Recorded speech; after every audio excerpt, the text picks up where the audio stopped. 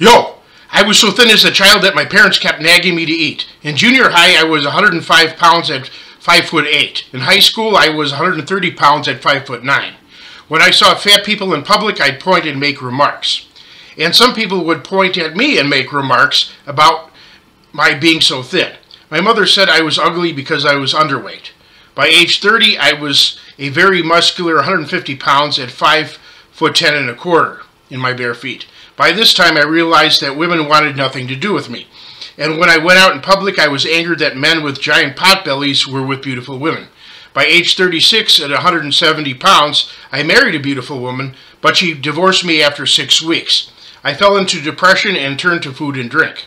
The habits never went away and my body changed. Now, at age 55, I'm over 220 pounds. Over the years, I've learned much about this topic, which I'll share now. Until recently, it was socially acceptable to discriminate against a person's race, gender, sexual orientation, and various other categories. Since most groups are now off limits, the anti fat people movement sprang up so that people have somebody to pick on and feel superior to. In defense of this, YouTubers say that they're concerned about people's health. But if they say nothing about drug addiction, smoking, anorexia, bulimia, eating contaminated food, dehydration, which can be fatal, nor any other health hazard, they are liars! Their only concern is to get pleasure from acting superior to others. Some say that fat men should be disqualified from holding high positions of authority, such as judges or presidents. No, President Taft on my wall there. Or, or that their authority should be rejected.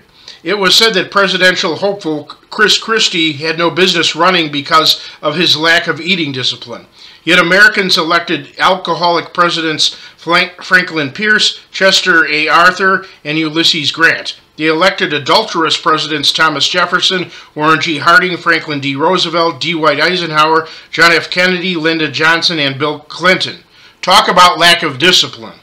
And U.S. President William Howard Taft, the, the over there at 330 pounds was an efficient president, better than average. Uh, know that body weight is very dependent on metabolism since the vast majority of adults not only gain lots of weight as they get older, they gain weight in increments according to specific ages. And some weight loss methods are far too dangerous. Never take up smoking, eating tapeworm eggs, or daily vomiting to lose weight. Diet pills, too, are often too dangerous as well, since they can cause heart attacks or strokes from increased blood pressure. As for diet and exercise, they're useless unless you adopt them as a permanent lifestyle change. Upon cessation of diet and exercise, your body reverts back to its previous state. And if you were once obese, your body will continually fight against all diets since it has been stretched out and has undergone chemical changes and anyone who is very obese cannot get the same weight loss through exercise as someone thinner can. That's because weight loss through exercise is heavily dependent on the speed of your exercise, and obese people cannot move as fast. Weight loss surgery is hazardous too and is only for the extremely obese, such as those weighing over 600 pounds. People say that fat people are completely at fault since nobody in a concentration camp was fat but pointing out concentration camps actually proves something different. That is, your weight is largely determined by the condition around you. And the condition around people in the United States is the food culture.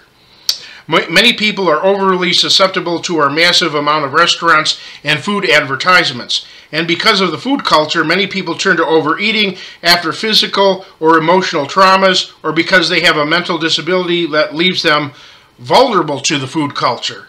So, discrimination against fat people is discrimination against the unfortunate and the handicapped, oftentimes. Uh, furthermore, many people are harassed and browbeaten by family members to gain lots of weight. For example, I lived with my parents most of my life. My mother, who had thousands of cookbooks, would always do everything to get me to overeat by always controlling the kitchen, constantly overloading my plate, giving me extra large plates to disguise the fact that the portions were oversized, and arguing and hollering if I didn't eat everything, and turning full uh, and turning snacks into full meals. I battled it by throwing food out, feeding it to the dog, and taking up running. And my mother was always thin while she made fun of fat people. This is a common phenomenon. It is a it is a form of control.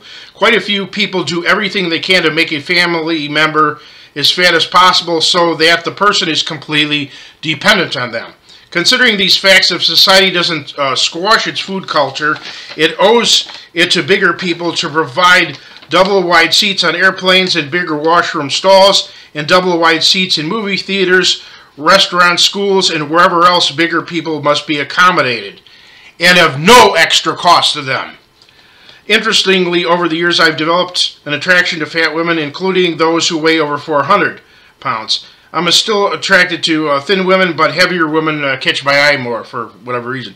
Consider that breasts, along with all, all other womanly curves, are made of fat. And being fat alone does not equal the sin of gluttony.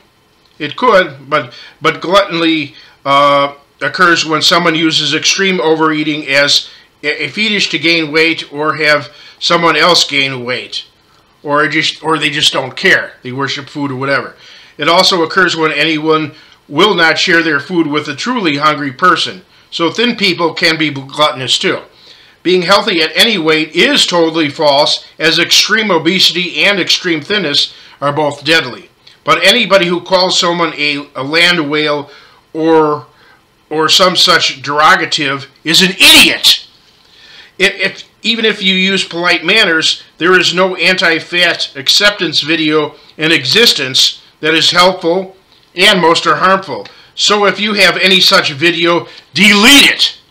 The only ways to help fat people is eliminating the food culture and acceptance. So before you become a busybody concerning someone's outward appearance, I leave you with Christian scripture, Matthew uh, chapter 23, verses 28 to 29. Woe unto you, hypocrites! For ye are like whited tombs, which indeed appear beautiful outward, but are within full of dead men's bones and of all uncleanness. Even so, ye are also outwardly appear righteous unto men, but within ye are full of hypocrisy and iniquity. Think about it.